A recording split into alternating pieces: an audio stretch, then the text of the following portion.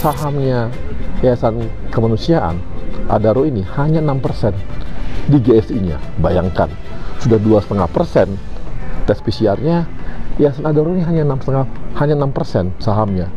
Ini sangat kecil gitu, jauh sekali kalau dikatakan keinginan atau punya keinginan untuk bermain-main di bisnis PCR gitu.